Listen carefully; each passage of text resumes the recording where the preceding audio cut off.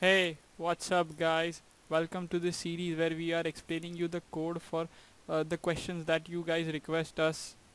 Now uh, we just need your support to keep doing this work. Uh, now uh, we just request you to please subscribe and like our videos and if you have any doubts please comment on the video. Now in this uh, in this video we'll be looking at the area and perimeter of a rectangle. In the last one we had seen the area of a circle uh, area and perimeter of the circle. Now let's uh, look at the formulas.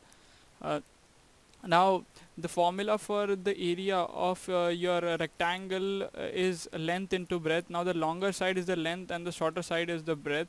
Now the perimeter is equal to 2 times length into breadth. Now uh, now that these formulas are clear now for those who don't know what's perimeter this the black outline is the perimeter and the area is the blue one. Now uh, let's jump into the code and let's see uh, how, how we solve this problem. Now I just created a rectangle.c file. After that we'll just include stdio for input output.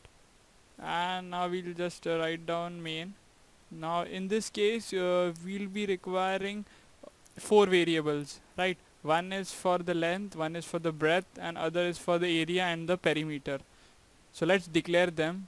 Now let's ask the user from the input.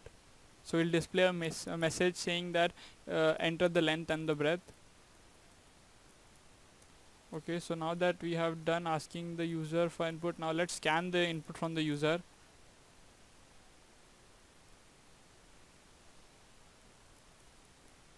percent f. Now the percent f is for the floating point numbers. And we'll store the input in length and breadth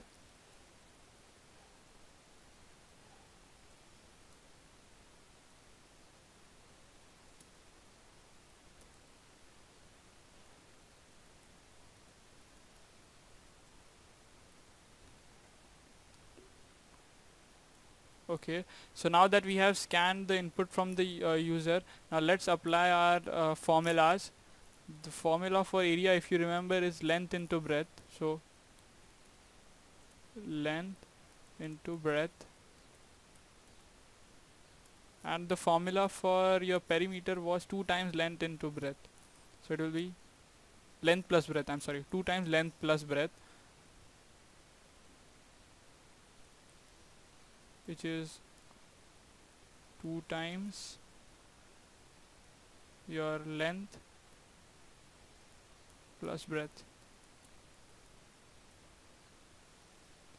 So now that we have calculated our length and breadth let's display them to the user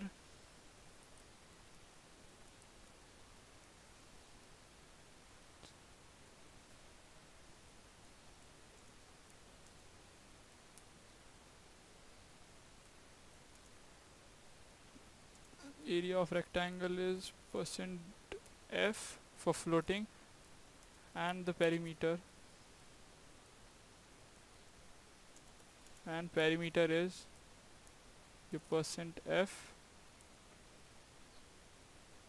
And we'll supply the values.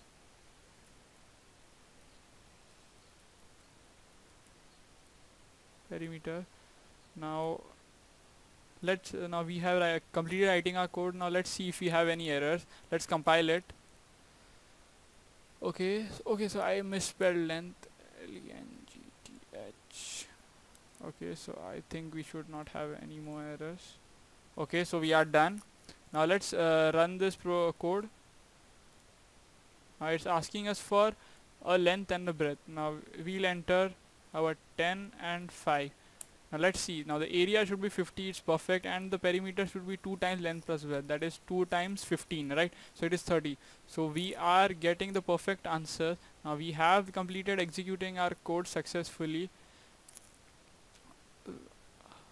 Now if you have any other program that we you want us to solve please do comment on any of our videos. We'll make it uh, available to you as soon as possible explaining you all the concepts that are actually necessary to code this code any of your program. Now please do subscribe to our channel and like our videos. Uh, this will help us improve. And any suggestions are always welcome. Thank you